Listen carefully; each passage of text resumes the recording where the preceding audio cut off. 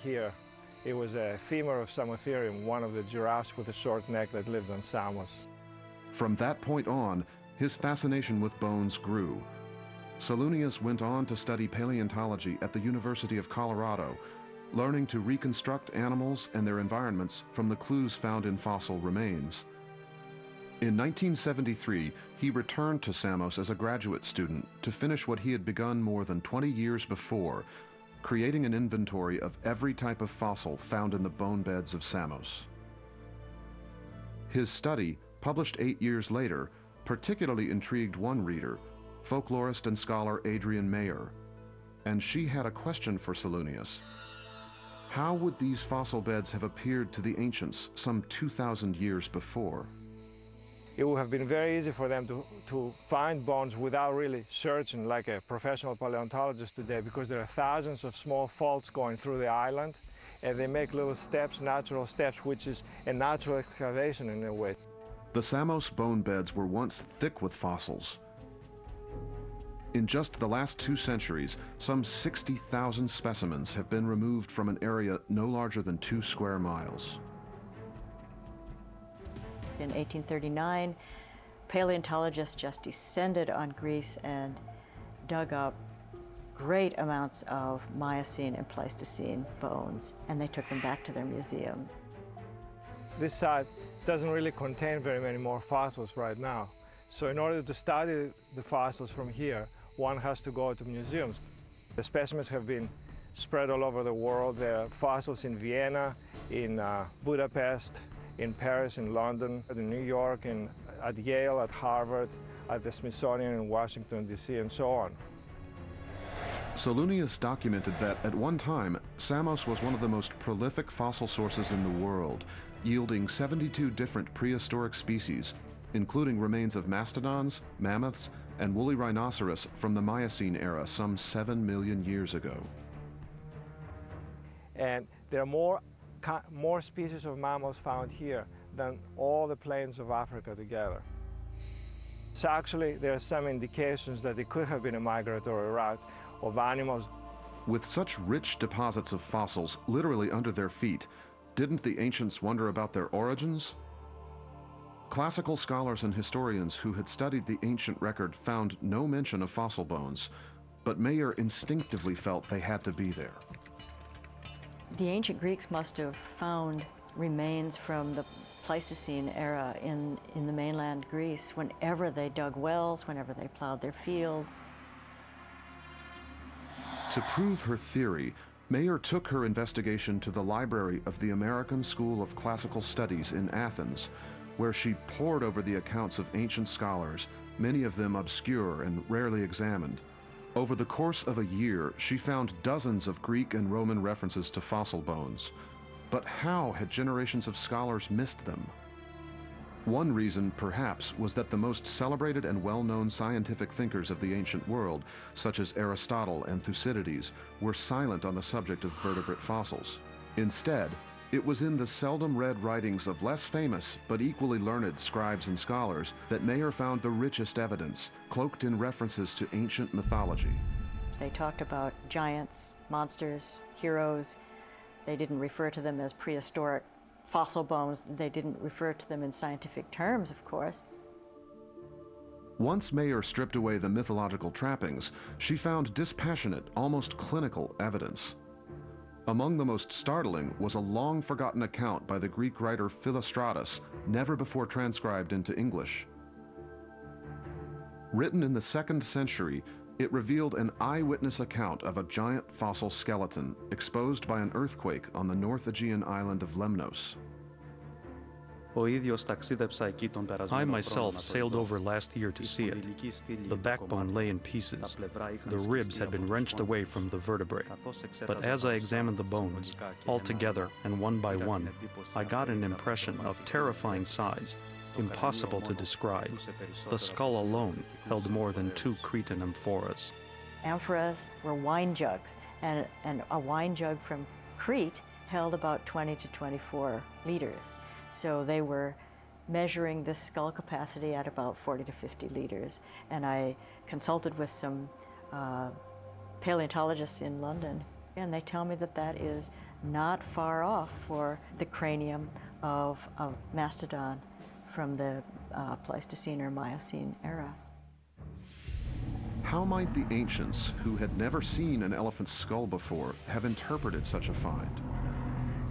Well, they would have seen it from the front, and they would have wondered where the two eyes were, and they wouldn't have seen them because in a mastodon skull, like a lot of plant eaters, the eyes are at the side.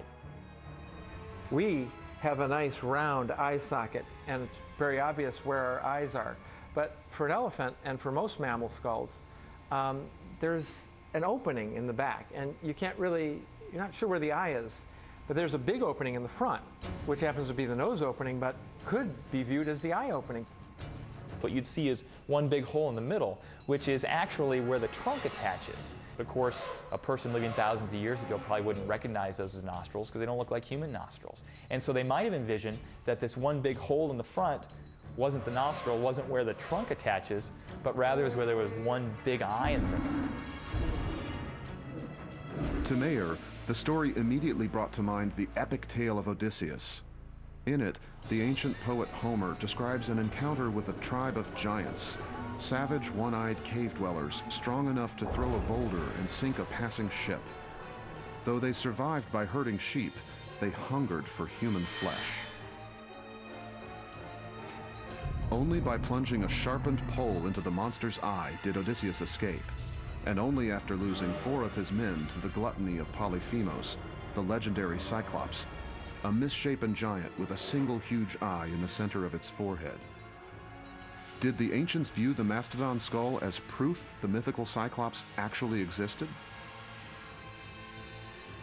Those myths about giants and monsters were confirmed every single time some villager would plow up a bone that was as tall as he was we have no way of proving that myths about giant creatures, uh, about monsters, about uh, huge heroes were actually inspired by the observation of enormous fossil bones. But what we can say is that when people did find bones like this, remarkable remains, they immediately referred them to the myths that they knew. If proof could be found that the ancients actually excavated and examined these gigantic remains, as the written record suggests, it would lend credence to Mayor's seemingly radical theory.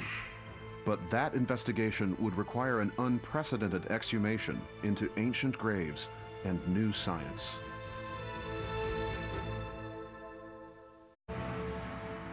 The soil of the Aegean was once rich with vast deposits of prehistoric fossils, treasures revealed by the constant earthquakes that broke the rock in which they lay.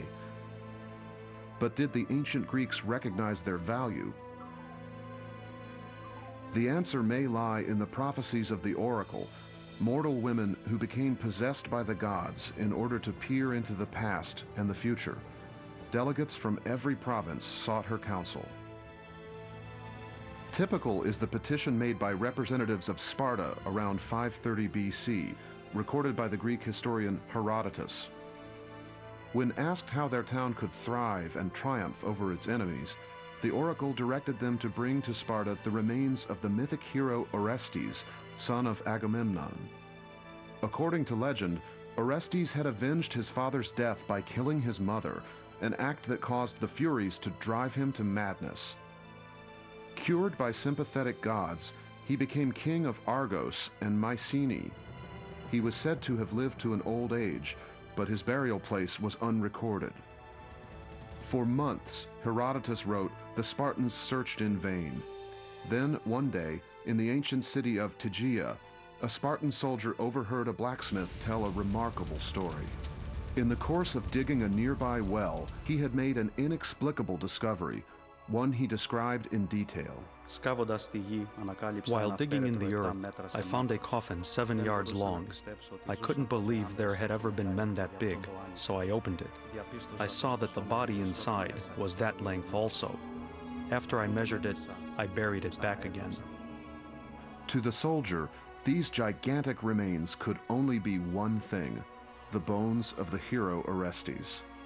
Waiting until nightfall, he dug them up and spirited them back to Sparta.